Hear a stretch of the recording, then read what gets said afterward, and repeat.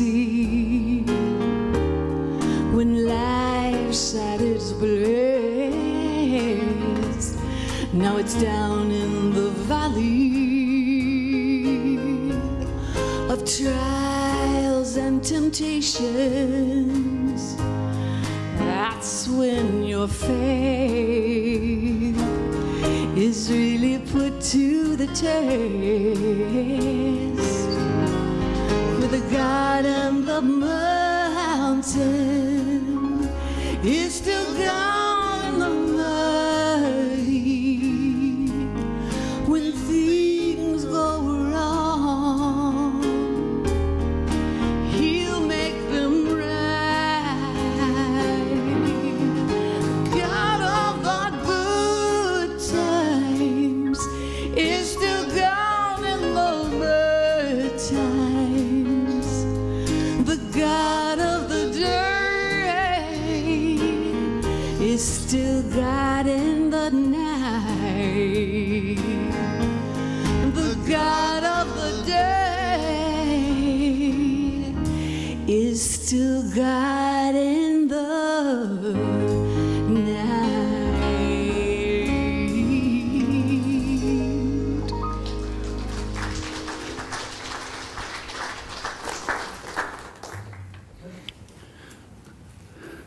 That's a great truth in song. The God of the mountain is the God in the valley. You know, mountaintops are fun. Problem is, there's no food up there. No food on top of the mountain. You got to go down in the valley. And uh, someone once told me about preaching, they said, if you'll just speak to broken-hearted people, you'll always have an audience. And that's true. And I got thinking about starting in 2 Corinthians here, and last week I went over all the things that Paul had suffered and how miserable life was to him. And we talked about this being such a unique book because he is really going to talk a lot about himself. And he's going to admit some things throughout the book that are very personal, and it reads kind of like a private journal. And you learn more about the man in this book than in any other part of his writings. He still remains the great apostle, but he doesn't remain a person who isn't affected by his world. I mean, this is a guy who had been thrown in jail, he had been beaten, he had been shipwrecked, he'd been left in the sea. And of all those things, if I had a choice, uh, I would put the sea as the last thing I'd want to do to be stuck out in the middle of the ocean, in the deep, in the dark. And so today we're going to be looking at the first 11 verses. And in the, in the first uh, two, he gives a, a beautiful hello. We're going to look at that. And then he goes on and talks about what about when you are in the valley? Uh, I've entitled this the, From Despair and Despondence to Comfort. Uh, when, I, when I got thinking about that, I got thinking about Pilgrim's Progress. I don't know if you've ever read Pilgrim's Progress. It's, it's a great book. It's about a guy named Christian. And he's trying to make it to the celestial city. And it's just a metaphor of life. And he's going through all of the things that he goes through. And he's trying to get to the celestial city. And as he moves further away from his home, he encounters more and more problems. And along the way, he loses more and more friends. Isn't that the way it goes? Uh, the closer you get, the deeper you get in problems, have you noticed the less friends you seem to have? Everybody loves you when you're on top, but when you're down, everybody goes away. It, have you figured out that uh, when people ask you how you are, they really don't want to know? now, you can do your own personal test on this. The next time somebody says, Well, how the heck are you? Start telling them. and they'll disappear pretty quick. You know, it, what was that book, How to Win Friends and Influence People? I could write a book called How to Run Them Off. Just tell them how you feel. And, uh, and they'll just go away. You know, why? Why do people do that? Because people don't know how to help. People don't know what to do. So I, I was thinking about Pilgrim's Progress, and I was thinking about uh, uh, Christian's route. And the most interesting part of, the, of his travels is he gets caught in the slough of despond. That sounds like a bad place to me. I mean, it, the slough of despond. I, I, remember when I was a kid, they had a rock quarry, and, uh, and we used to go play on it and, you know, ride our bikes on it. And, you know, just, you, you know, it was a rock quarry. It was one place we could go where we wouldn't break anything. And, uh, and it, it had this thing at the bottom of one of the places where they were pulling out of the rock quarry. And it was just this nasty, kind of silvery, brown, blue looking stuff. Like, he didn't ever want to touch that. I mean, it, it, like glowed in the dark. And, and, and that's what the image I get when I think about the, the slough of despond. And when Christian got there, he had a friend named Pliable. He has all these friends with funny names. And Pliable was with him. And Pliable, of course, it, it, that's the kind of friend he was. He was pliable. Till they got to the, flu of, uh, the, the, the slough of despond, and he was gone. He was out no more pliable. But he runs into a guy named Help. And in the book, and, and I encourage you to read the book, it's got a lot of these and thous and all that, but if you can get past all that old English language, there's some great things. And I was reading about the pool of despond. It says, such a place that cannot be mended. The descent where the scum and the filth of sin does continually run. Fears and doubts and discouraging apprehensions, and all of them get together and they settle in this place. This is the reason for the badness of this awful ground. Whew, that sounds, that sounds bad. That sounds rough. But it doesn't sound any rougher than the pool of despond that we find ourselves when we suffer. You know, everybody suffers. I think the funny thing is, is, is we, we attempt, and it's a, it's a, a bad attempt, we attempt to, to not show the fact that we're suffering. But in this room, there's lots of pain. There's pain of loss.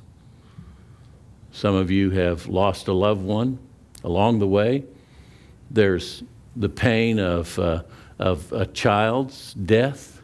There's all kinds of pain within relationships. There have been broken relationships. You've been violated by business partners. You've been hurt by people that you normally could trust in, organizations and agencies that you count on for, for your health, and, and, and they've let you down. The world is filled with the pool of, of, of despondency, and we get stuck in it. And the truth is, when we get there, poems and scripture sometimes are not, not a help. I mean, this is a great song. The, the, the Lord of the mountain is the Lord of the valley. But you know, that's cognitive knowledge. But when you're in the middle of the slough of despond, it just passes over you and makes no sense. Because you're asking the question that all of us ask. I don't, unless you're you're the only spiritual one in the room, but but that question is why me? Why this? Why now?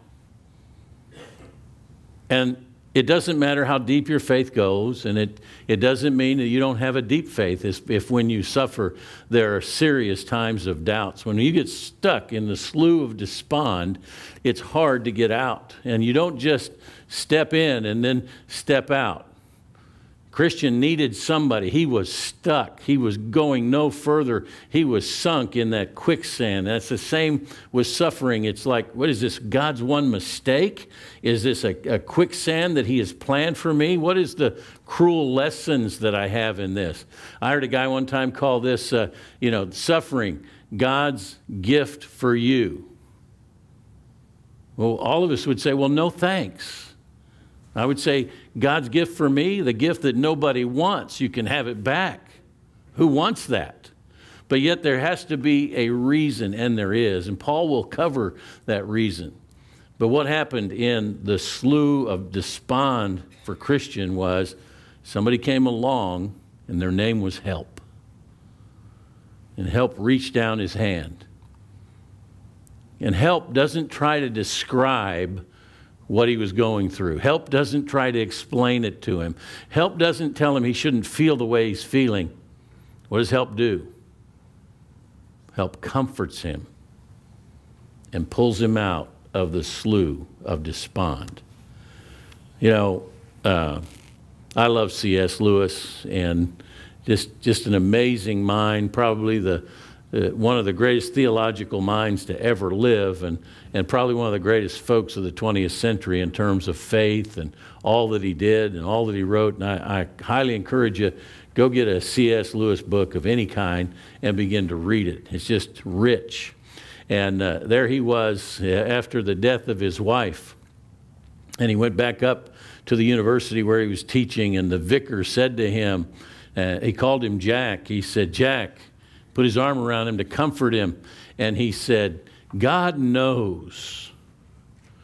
God knows. God knows. And C.S. Lewis looked at him and he said, I know he knows. My struggle is, does he care? Whoa. Does God care? That's a question not easily answered. Now, we know that He does. We got that here. We know that God cares. We know that God loves us. We know that nobody loves us with the kind of love that God has. He has loved us with an everlasting love, and with loving kindness, He draws us to Himself. We know that. But when you're in the slough of despond, sometimes it doesn't make a difference. And you suffer. And you're in pain. Well, Paul's going to talk about that. And he's going to give us all something to do when we're in the slough. He's going to give us something to do when we're out of the slough, but can remember the slough. He's going to very pointedly come into this church, this kind of disobedient, weird uh, mixture of people that he has taken a whole book that we've gone through and, and bawled them out over several issues, and he's going to pull them close like a friend. It is humbling and honoring when, when somebody is suffering and they seek you out. And when they do, you need to be ready to be a part of their healing, not their pain. So, listen to Paul's hello. This letter is from Paul chosen by the will of God to be an apostle of Christ Jesus, and from our brother Timothy. He doesn't call Timothy an apostle, but he's calling himself an apostle, and he's establishing it. But the way he says it, he says, This is Paul, and I'm an apostle, not because I deserve it or because I've earned it or some board of men decided I was going to be that. God has chosen me. And, and so I am in that position. He says, I am writing to God's church in Corinth and to all of his holy people throughout Greece. May God our Father and the Lord Jesus Christ give you grace and peace. I dare say that that is such a wonderful greeting to say to somebody, May you have grace and peace. And what does that mean? May you have salvation.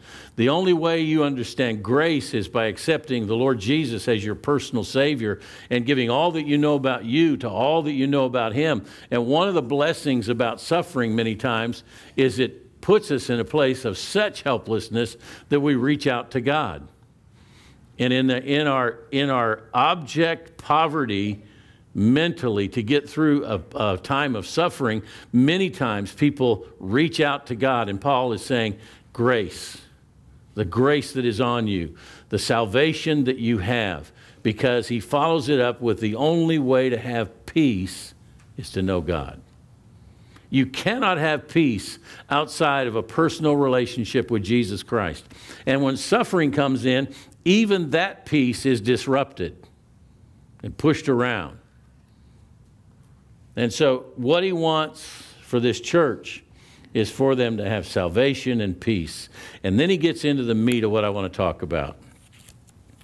He starts right up front, he doesn't waste any time.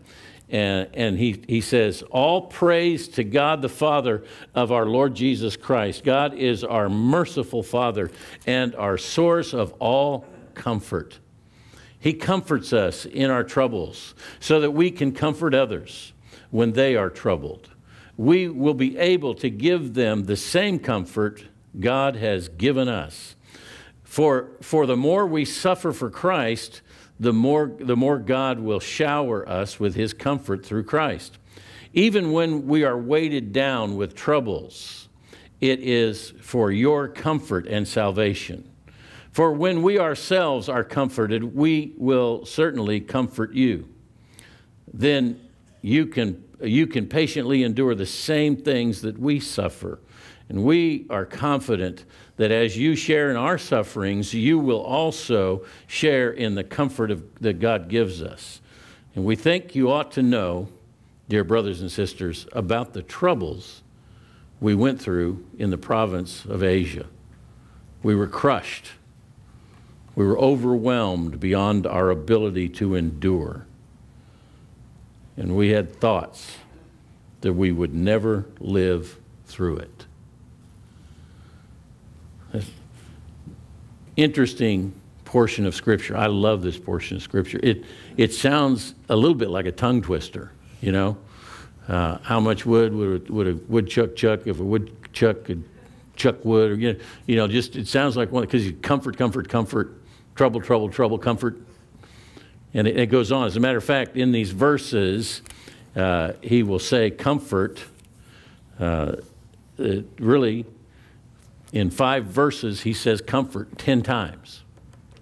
Now, if Paul is going to use the word comfort 10 times, that means that the word comfort is got to have some sort of meaning to it for him to bring it up.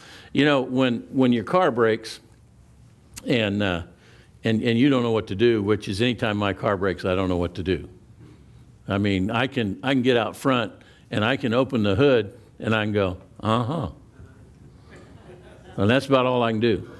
So what do I do? I have to call somebody to come pick it up and carry it somewhere, right?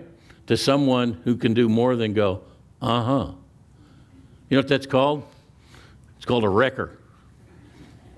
So you call a wrecker and he, and he tows you away and he takes you to a wrecking yard. All sounds bad, doesn't it? Do you know, over in England, they don't call it a wrecker. Over in England, they call it a rescue vehicle. So when your car breaks down, you call a rescue vehicle. And then the rescue vehicle gives you a lift. Nice, right? And it takes you to the recovery property. now, how much better does that sound? That's really what Paul's going to try to explain to us. He's trying to explain to us that when, when the people of God get in the slough of despair, you, you don't need to be a wrecker. You don't need to be towing. You don't need to dump them off in the, in the, in the, in the yard. You need to be a rescue vehicle. You give people a lift. You need to take them to the recovery property. It just sounds nicer. I should say it in an English language. But those are, those are all the words that he wants us to hear. And these are, these are words of, of uh, comfort and encouragement. The word comfort used 10 times in five verses. Guess what? It's the same word out of John 14, 16. Let me remind you what John 14, 16 says. Jesus is about ready to go to the cross. He's going to die. He's got these men with him. They're, they're frustrated because they don't understand the plan. And Jesus says to them, uh, I must go, but I'm going to send one who is greater than I am the Comforter. The Comforter. And He will not only be with you, He will be in you. Now, do come Wednesday and hear about the Holy Spirit because this is one of the amazing things related to the Holy Spirit. The Holy Spirit in the Old Testament had, had a, a different way of working. Holy Spirit came in two phases. Phase one was the Holy Spirit would come alongside. And as long as the Holy Spirit was alongside of you and you were obedient, the Holy Spirit would empower you. That's why, that's why when, when David sins against God and he has his affair with Bathsheba in Psalm 51, he begs God. He says, Please don't take your Holy Spirit from me because the Holy Spirit would move away from people in their disobedience. Samson was strong for Israel, he protected Israel. Uh, he, he, he would kill the Amalekites, the Jebusites, the mosquito bites, any of them that were coming after the nation of Israel. He was on it. But then he was disobedient, got his hair cut in the wrong barber shop. And when that happened, the Holy Spirit left him and attached to somebody else. Jesus is telling his men, now that I have been here, now that I have set this example, now that I will go and do redemption for you on the cross, I will send another, the Comforter, and he will not only be with you, he will be in you. And on the words of Jesus, the ministry of the Holy Spirit changed from that point to this. You no longer have a Holy Spirit that comes along the side of you and is here as long as you're obedient. Thank you. How long would he have been with me? Not very long. How long would he have been with you? Maybe a little longer than me. But we'd all be crying out in the slough of despair, not knowing what to do. But on the word of Jesus, we get the Holy Spirit not only with us, but inside of us. The Comforter. The Comforter. And that, that is this ongoing comfort from God. And so, Paul, when he's going to talk to them about how he wants them to be comfort to others, he's going to use the word, same word, comforter, same meaning. And, uh, let me tell you what dawned on me when I thought of that. What dawned on me was we have the Holy Spirit of God. How amazing is that? We are sealed until the day of redemption, not because we're capable of being obedient, but just because uh, God chose to do it. And we have the personality and the nature of God living inside of us, educating us, talking to us, caring for us, guiding us along in every decision we make, and confronting us, and loving us, and comforting us. And what Paul's going to say, he's going to say, Church, I want you to be, I want you to be the Holy Spirit in somebody's life. Along with the Holy Spirit that they have, I want you to go to them and I want you to comfort them. I want you to be God with skin on. Now, some of you, you're real excited to hear that Paul wants you to be the Holy Spirit. Because some of you have worked your whole lifetime to be the Holy Spirit in somebody else's life, right? Somebody asked me if, if, I hear, uh, if I hear an audible voice from God. And, and I always tell them, yeah, and it's an alto.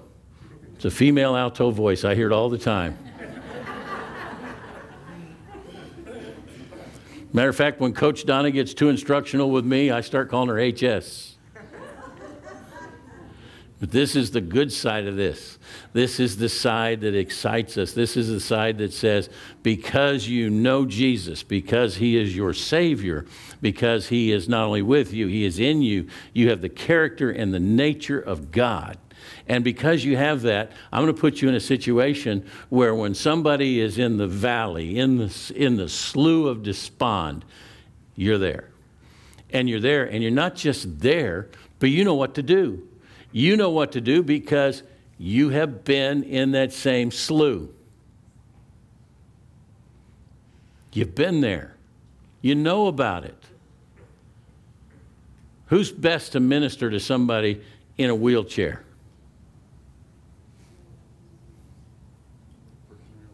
Another person in a wheelchair. We have our soldiers coming back emotionally, mentally damaged, and, and physically damaged, and, and who, who is best suited for them but another soldier who knows what to say, who knows what they're going through.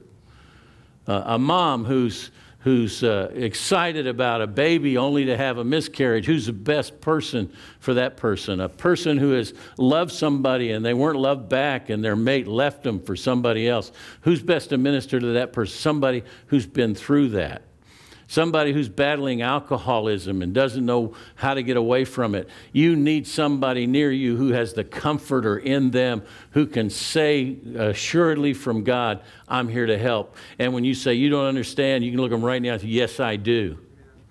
Yes, I do. I've been in the same slough with you. You see, our pain and our suffering has a reason. And he, he starts out with that reason. He gives us the first reason for suffering. And suffering is such a mystery. I am so excited just to get a reason for suffering.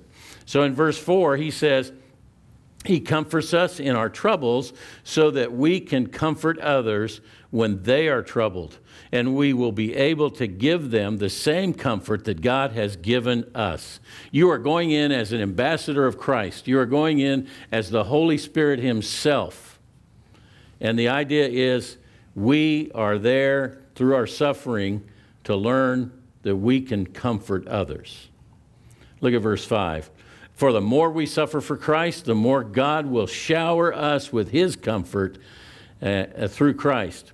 And, and then six, he says, even when we are weighted down with troubles, it is for your comfort and your salvation. For uh, when we ourselves are comforted, we will certainly comfort you. And then you can potentially endure the same things we suffered. You see how he's, he's talking about how to get in there, how to be, how to be in the process with you, how to take care of you because of what they've been through. And uh, I think about how that, how that has happened so many times in my own life. I remember when, uh, when Donna's brother was uh, diagnosed with angioplastia anemia. Never heard of it.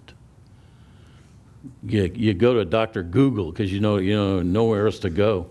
And you learn that that's what, uh, that's what took Tom Landry and and it's like a it's like a leukemia, and uh, and I was trying to I was trying to comfort Donna and, and, and, having some success, but not a lot of success. And there was a there was a little gal named Susie Bastion. And Donna didn't know Susie, and Susie didn't know Donna, but she had heard that Donna's brother had angioplastia anemia, and the phone rang, and it was Susie. Donna, you don't know me. But I, I know who you are, and I heard your brother has this disease. My brother had the same disease. Can I meet you for lunch? And she became the comfort, the helper. She became that person to pull Donna out of the slough of despondency and despair, to give her hope and didn't have a lot of hope to give. Susie's brother died. Susie's brother died exactly the way Donna's brother would go on and die. But I shudder to think, had God not provided Susie in Donna's life, how much more difficult it would have been on her. Instead, I saw her walk through that process with her brother. I saw it, uh, I saw it make a difference I remember standing in line at Tom Thumb and I had two things of sherbet. And I just want to get through the line so I can go eat my sherbet. And there's a lady in front of me and she does her card and it's, she didn't do it right. Got to do it again. So she does it again, didn't do it right. She does it again, didn't do it right. The little guy that's checking her out, he's kind of rolling his eyes. I'm, I'm sort of going, mm. You know, I want to set the sherbet down and go over and go, mm, there you go.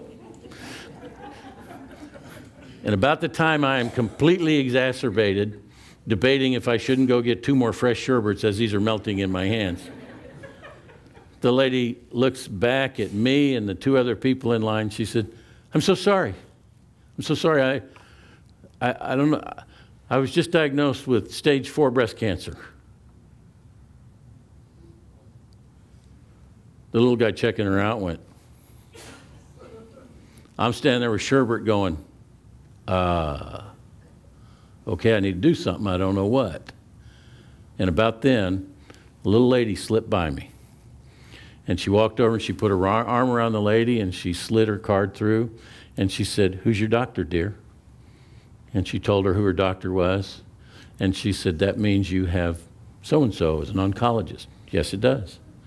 And she said, Oh, he is so wonderful. You've got a wonderful doctor.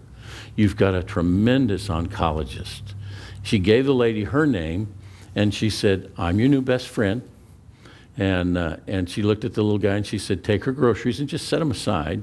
We're going to go over here. And she put her arm around her and they sat down and she started talking to her. And she said, When's the appointment?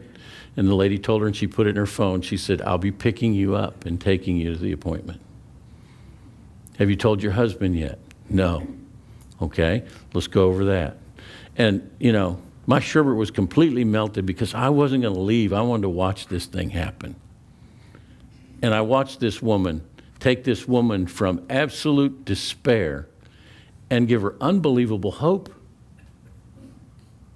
Pulled her right out of the slough of despond and said, We're going through this together.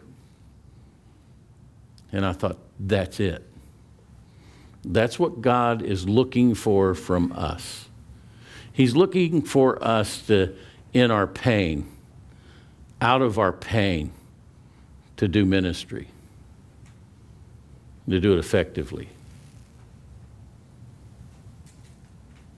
God has an idea for our suffering that it not go to waste. And we just need to recognize that. Many, many of you do. Uh, in, in verse 8, he says, we, we think you ought to know, dear brothers and sisters, about the troubles we went through in the province of Asia. We were crushed and overwhelmed beyond our ability to endure, and we thought we would never live through it.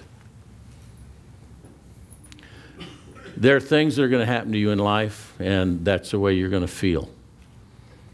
Experiences that you encounter that you never thought you would encounter, and yet they're on you. And there's a frustration and an anger that comes with it, and God takes all that. When he, he takes the information you get while you're in the, flu, the slough of despond, and then He lifts you out of that slough the pain is still there. It never goes away. You are different. I hate it when people say, well, this is your new normal. I just want to say, shut up. There is not a new normal. When you've suffered a great dynamic loss, there is no such a, a thing as normal. There's simply loss. And God will take that loss and He will use it in His sweet, wonderful way, and He'll make you a comfort to others. I hope she doesn't mind me sharing this, but I'm just looking at Peggy.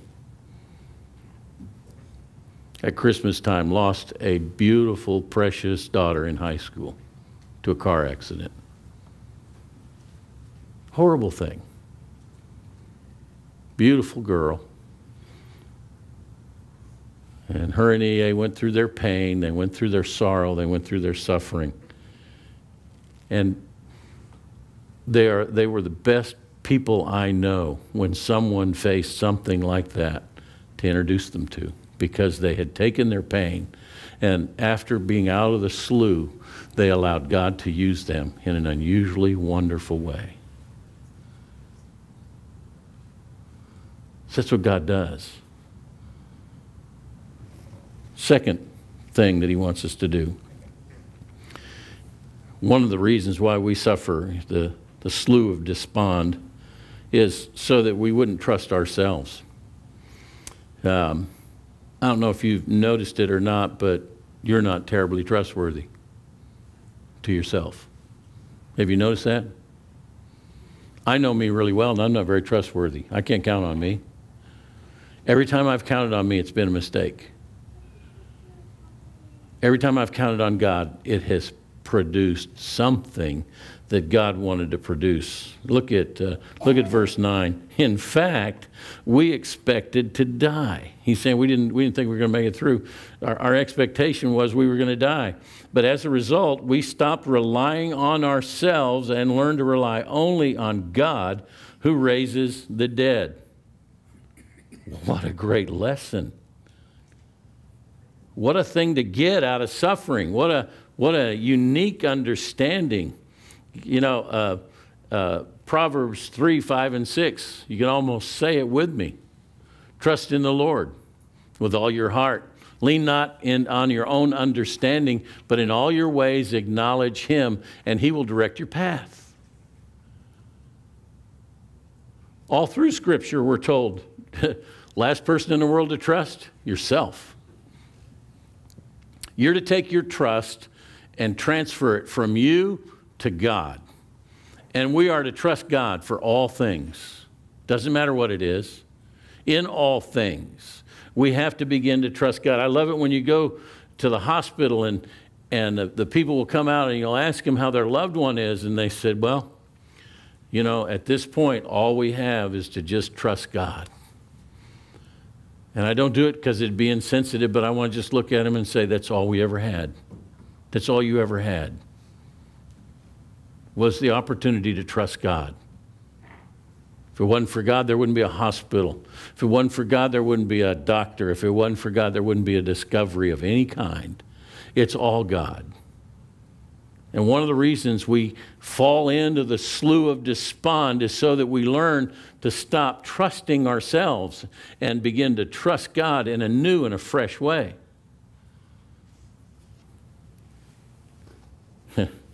I love God's promise, and, and, and everybody quotes this scripture, Jeremiah 29 11. And sometimes when I hear it, I just shake my head and think, you don't even know what that's about. I know my plans for you, says the Lord.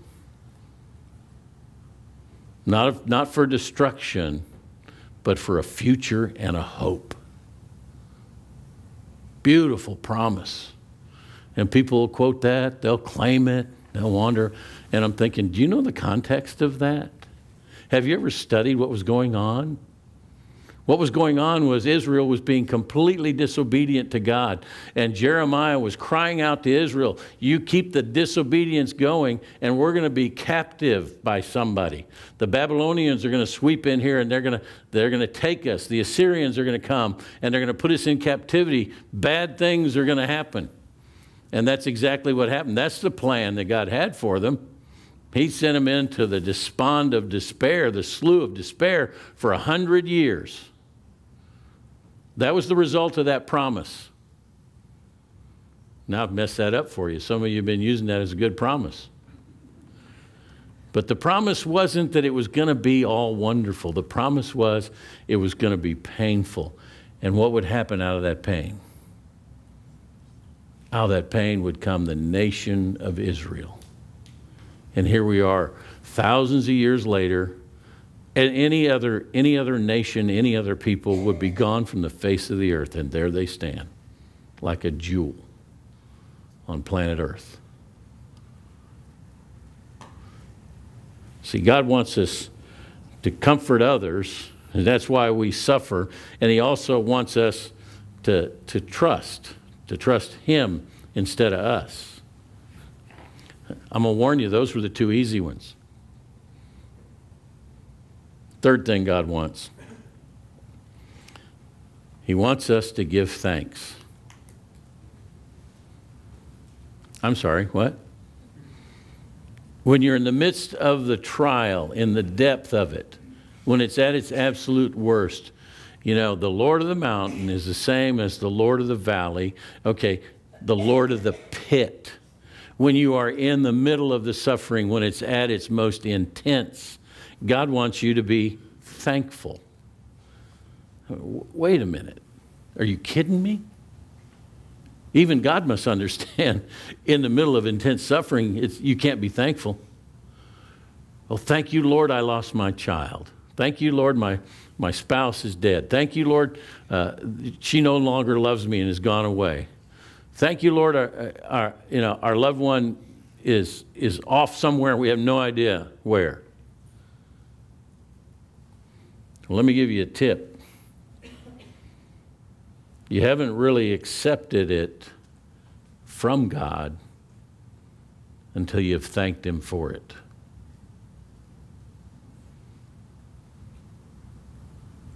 It takes the power of the Holy Spirit to do that. Look at verses 10 and 11.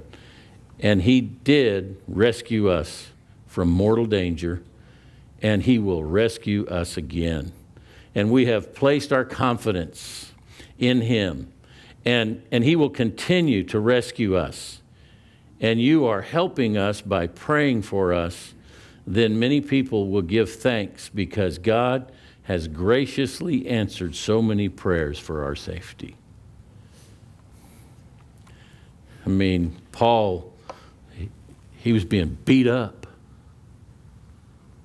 He'd been shipwrecked. I mean, people had taken ball bats to his head.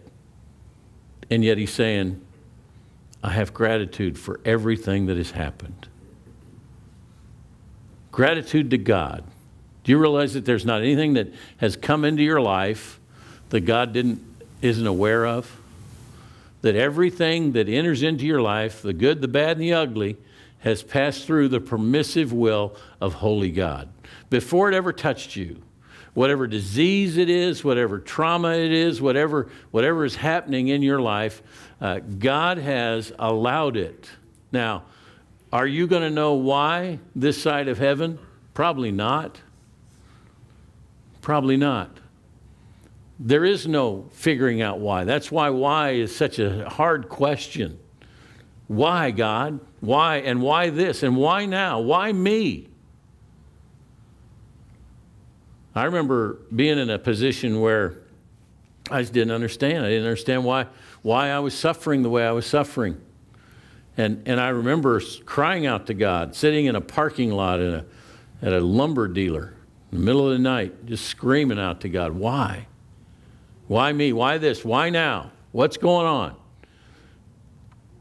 And I heard the heart of God more than any other time in my entire life.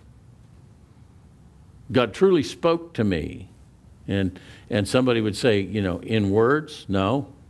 It was clearer than words.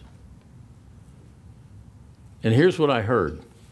And you know, sometimes when you pray, you hear things, and, and, and God will give you kind of the strength to get through like the next 10 minutes with what He's saying to you. And then sometimes He'll say something, and that'll get you through a day or two. There's, some, there's sometimes, and it was in the midst of this suffering, where God gave me something that is going to get me through my life. When you get one of those, you just praise Him and go on. Here's what God said to me Can you be my man and never know why this side of heaven? And my first answer was amazingly spiritual. Huh? What? Are you kidding me? That's all you got? But then I pondered it for a while. Can you be my man? Can you stand and be my man, whether you know or not? Can you trust me instead of you? Can you be ready to comfort others without knowing? Can you have confidence in me instead of the situation? Can you give me thanks for how I'm going to use you through this?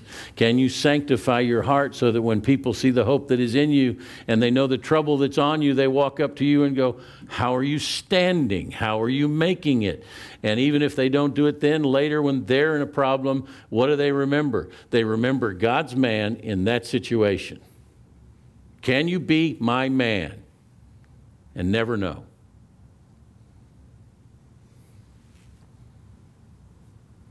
I gave him a rousing, okay. But not long after that, a heartfelt, thank you, God, for even this. Didn't fix nothing, but it moves you through. It moves you out of the, the slough of despond and despair. It picks you up and places you on a rock. So, those are the things that God wants us to do. That's why we suffer, and if we suffer for no other reason, those are the three reasons. So that we're ready to comfort others, so that, so that we trust not ourselves, but we trust Him, and we become a person of great gratitude.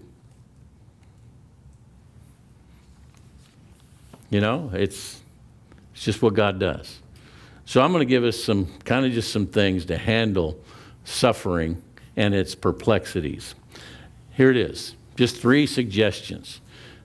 Focus on later understanding when you're in the slough of despond. When the problem comes, when it hits you, when the suffering begins, instead of focusing on the suffering constantly, begin to think about a later time. Begin to focus on how are you going to use this in my life, God?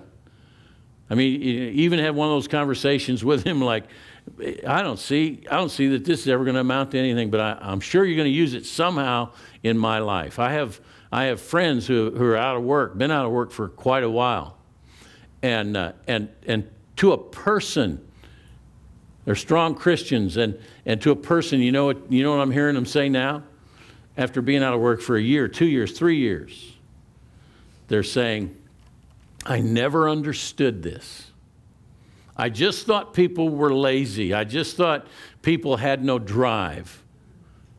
But I have learned some things in this valley that when I finally do get work, when I finally do find my place, I'm going to, first thing I'm going to do is help somebody else. And I'm thankful for what I went through. And they're talking about it as though it's past tense while they're in the middle of it. See, that's what God wants. That's what He'll do if we focus on the later lesson.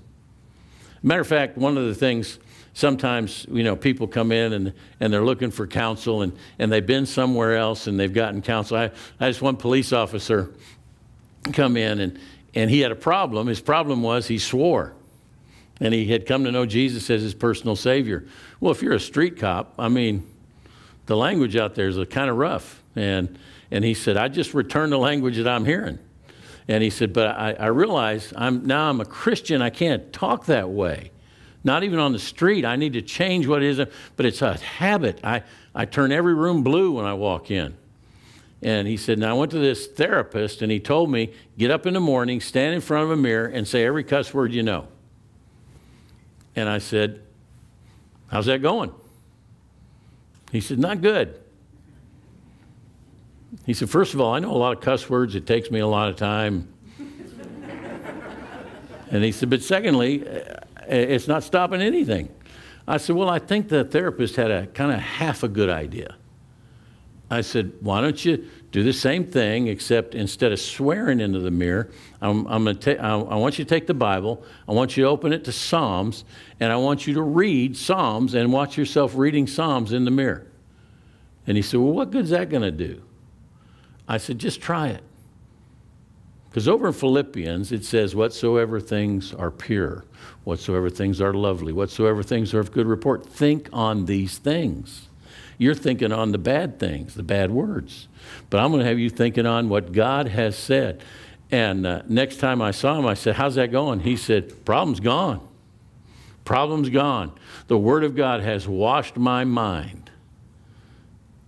But he said, Problem's gone. Now, what kind of comfort is he going to be in that area?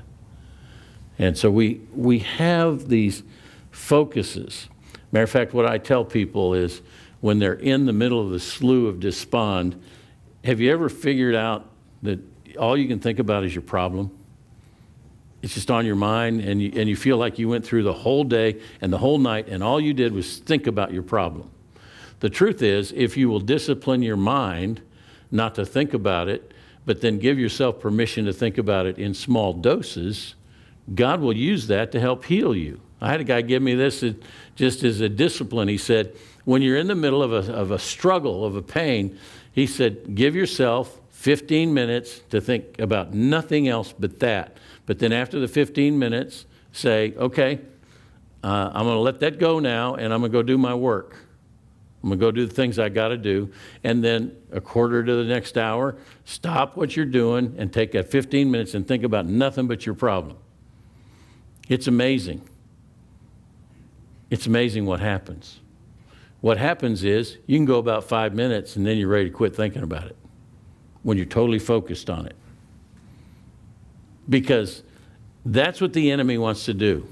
The enemy wants to take your worry and your pain and your anxiety and everything that has to do with that problem, and the enemy just wants to leak it a few seconds at a time so that your brain is worthless, so that you can't get anything done, so that you're in a fog everywhere you go.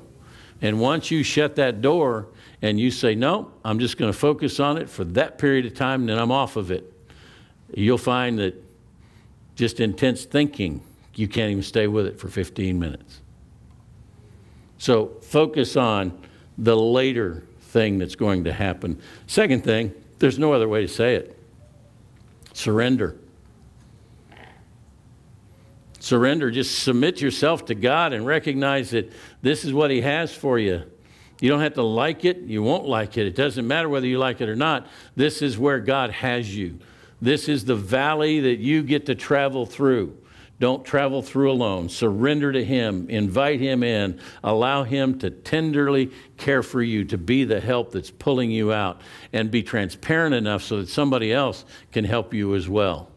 Be open about your pain. How open was Paul to this church? And he's saying, We thought we weren't going to survive. And, and finally, we realized oh, we're dead men, so we might as well trust God. And He delivered us, He pulled us out. Surrender. And the third thing, give thanks instead of becoming bitter. When people suffer and they come out on the other side of some great, horrible circumstance, they either come out loving God, praising God, thankful that they're out of that adventure, or bitter and angry and vindictive. It goes one way or the other. And that's what Paul is telling us. You know, he's telling us don't trust yourself, have gratitude, and find somebody else to comfort when you're in the midst of pain. Um, I want us to have a time of prayer, but what I want us to do if you're in the slough of despond and despair, I'd like for you just to, to indicate that so that we can pray for you. And the way I'd like you to indicate it is just stand up. If you're in the midst of something right now, just stand where you are. Thank you, Melody. Others, just be open. Be open. Allow God's people to comfort.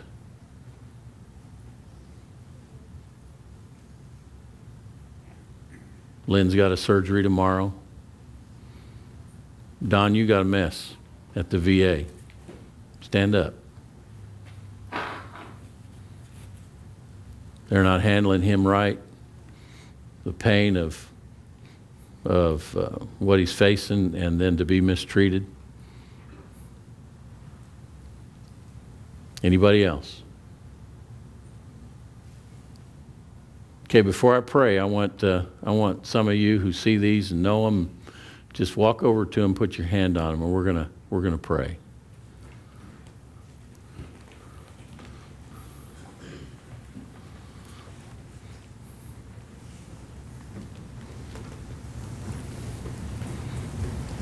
This is what the church is supposed to do. We're supposed to comfort one another by the comfort by which we were comforted by God. And as we do, in the midst of all of it, God takes care of not only that person, but you as well. Father, I thank you for these who have had the courage to stand up and say, I'm in the slough of despair. And Father, I, I'm, I'm in the middle, the big middle of an issue, a circumstance, a situation. And right now, I, I am in the valley and not on the mountain. And Father, I need to be comforted. So, Lord, we just pray that, that your Holy Spirit would comfort them and care for them and love them to the point that when they pillow their head tonight, they do so with uh, complete and peace, complete peace, knowing that you have given grace and that you know their situation. And Father, I, I also pray that uh, those who are praying for them will help them along the way, that they will be there to be God with skin on and be uh, someone who can help them. And so, Father, I just pray that uh, as we are open to one another, as Paul said, I'm so thankful for all of you because you prayed and, uh, and God sustained us, and He will sustain you. Father, give us a, a future and a hope in all things. We thank you. We pray for each of these, God. We pray for your provision, for your love. Uh, God, whatever the issue is in their lives, Lord, I just pray that uh, you would care for all of it. You see the beginning, the middle, and the end of all of it. They are in your hands. I pray, Lord, you would use them later to be the comfort to someone else in the midst of all of this pain. In Jesus' name, amen.